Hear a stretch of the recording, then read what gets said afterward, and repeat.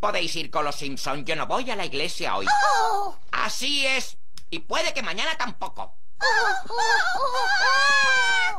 No es broma. Me quedaré aquí y me perderé en los oficios. Señor, te vas a enterar.